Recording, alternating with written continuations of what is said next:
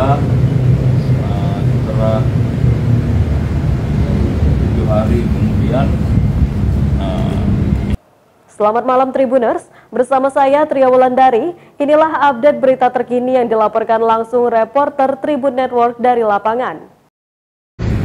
pada waktu itu akan melakukan olahraga menemukan uh, benda yang terjebak di dalam satu kantong yang mana setelah dibuka ternyata itu adalah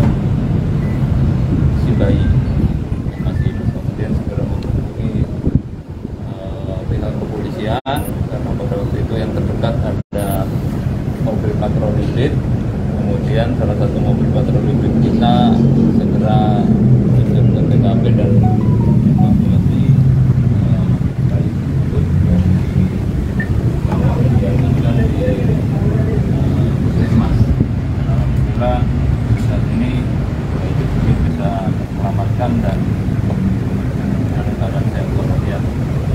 Dari hasil temuan tersebut, kemudian kita melakukan penyelidikan menelusuri tempat kejadian perkara tersebut, melakukan olah TKP dan melakukan pemeriksaan saksi. Dan Alhamdulillah eh, setelah tujuh hari kemudian eh, bisa kita ungkap siapa yang melakukan atau meletakkan bayi tersebut di eh, lokasi penemuan itu.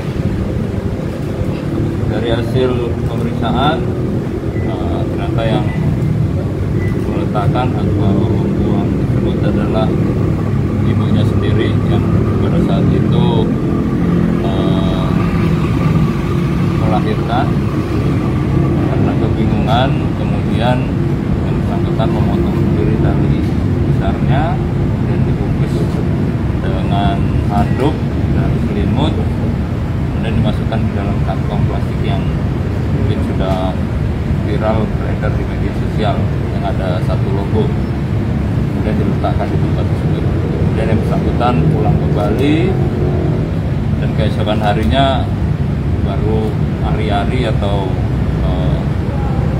bagian lain dari bayi tersebut keluar juga dan saat ini ibu tersebut juga dalam keadaan sehat walafiat dan sudah kita amankan juga Kenapa dan dia membuang bayi tersebut?